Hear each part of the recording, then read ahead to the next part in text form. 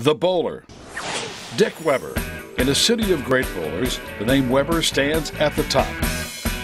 Dick lived in Florissant and in 1955 helped form the legendary record breaking bowling team, the Budweisers. It included other St. Louis bowling legends Don Carter, Ray Bluth, Tom Hennessy, and Pat Patterson. Dick was a founding member of the Professional Bowlers Association. He won 10 of the first 22 PBA tournaments, eventually winning 36 PBA titles. He became the first bowler to win at least one PBA title in six decades. Dick Weber was a tireless ambassador of his sport, a favorite with the fans and the media. League bowling had its heyday in the 60s and 70s, partly due to pros like Dick Weber. Dick is a member of the United States Bowling Congress Hall of Fame, and along with his son Pete, are members of the PBA Hall of Fame. The PBA ranks Dick third on its list of 50 greatest bowlers of the last 50 years.